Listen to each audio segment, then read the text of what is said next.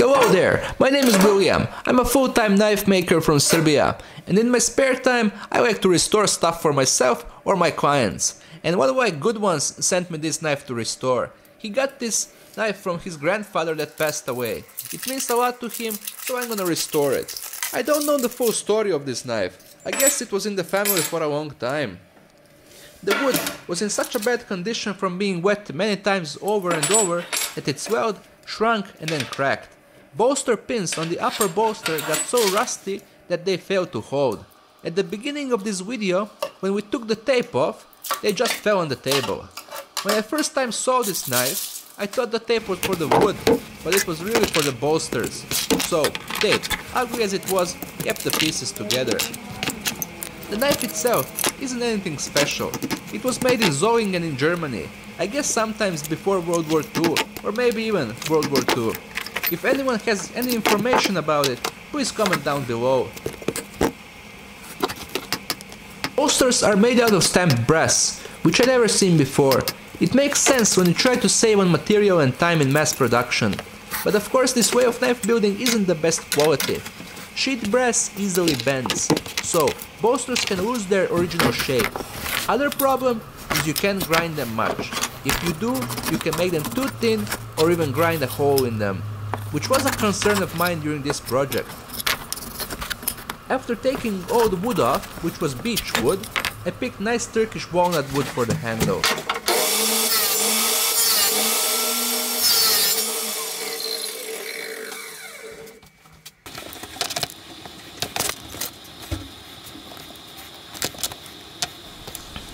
Blade is made out of carbon steel, so even if I polished it, it would still get rust and patina.